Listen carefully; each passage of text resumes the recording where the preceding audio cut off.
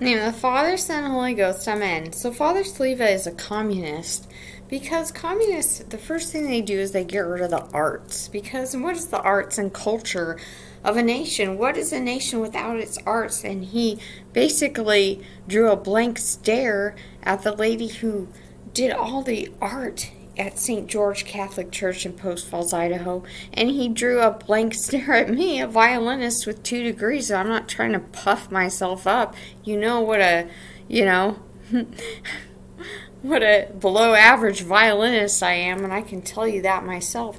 But also, uh, it's wrong because it really takes a stab at the culture and the arts and culture of a nation when someone who's not American comes in and cuts out the arts.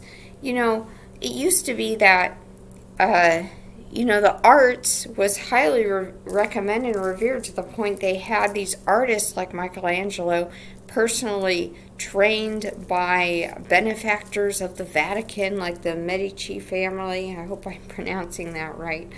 But anyway, and I studied myself music in Italy and I went to the Holy Land and all these things, and all that goes into my playing, whether I know it or not. Or so you know, it eliminates the essence of the culture. What Father Sleeva is doing, I recommend him to quit his job and go back to India because we really need priests that want people to work in their gifting within the church.